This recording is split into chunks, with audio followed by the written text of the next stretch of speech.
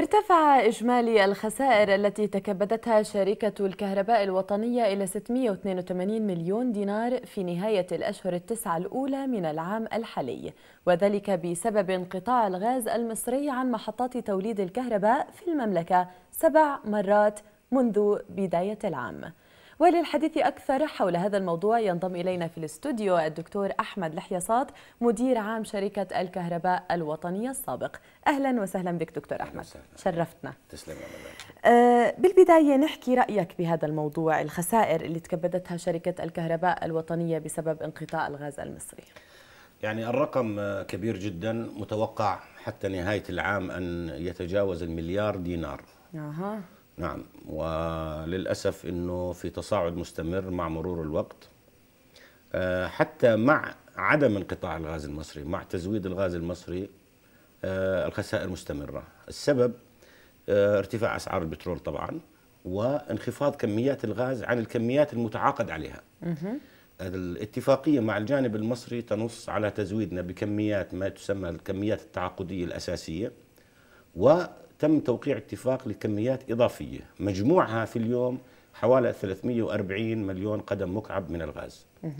آه، منذ بداية عام 2010 بدأت آه، آه، مصر تخفض الكميات لأسباب ربما مشاكل فنية ربما عدم توفر الغاز.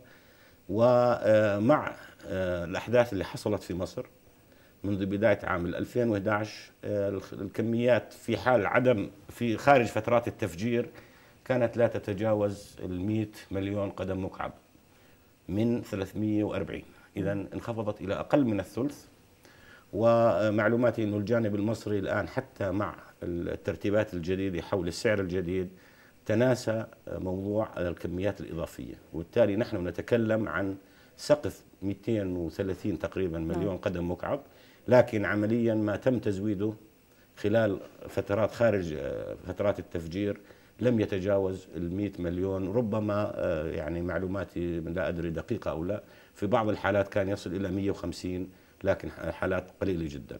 هذا رتب خسائر. حتى نفهم الموضوع الآن كلفة الكيلووات ساعة على الكهرباء الوطنية حتى مع السعر الجديد للغاز المصري حوالي 40 فلس.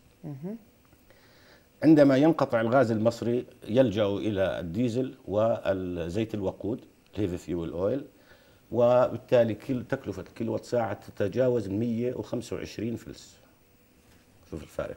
فرق طبعا. نعم. آه، بالمقابل تقوم شركة الكهرباء الوطنية ببيع الطاقة الكهربائية لشركات التوزيع لتوزيعها على المواطنين بمعدل بيع 47 فلس. هذه الأرقام استخرجتها من موقع شركة الكهرباء الوطنية. تمام. آه وبالتالي الخسائر اليومية تقريبا 3 ملايين دينار. إذا في الشهر نتكلم عن 150 مليون دينار. وبالتالي آه الأرقام مرعبة ومفزعة. هائلة. نعم. يعني نعم. فعلا. نعم. وخصوصا بعدين إحنا داخلين على موسم الشتوية والشتوية إجت أبكر هالسنة. نعم. ف... مع مع الشتوية طبعا يتصاعد استهلاك الطاقة الكهربائيه وتتصاعد الخسائر. فبالتالي الرقم هو مليار وأعتقد ربما نتجاوزه قبل نهاية العام. طب دكتور نحكي عن إمكانية وجود بدائل غير مكلفة آه، بدائل نظيفة غير نعم. يعني البدائل في حالة الأردن آه، معروفة والاستراتيجية الوطنية لقطاع الطاقة اللي تم مراجعتها في عام 2007 من خلال لجنة ملكية شكلها جلالة الملك وتشرفت بعضويتها حددت هذه البدائل لكن للأسف التنفيذ بطيء. لماذا؟ برأيك؟ لا أدري ربما هناك ظروف موضوعية ربما لا أدري يعني لكن أنا انطباعي أنه التنفيذ بطيء. وإذا تكلمنا عن البدائل فهي كالتالي.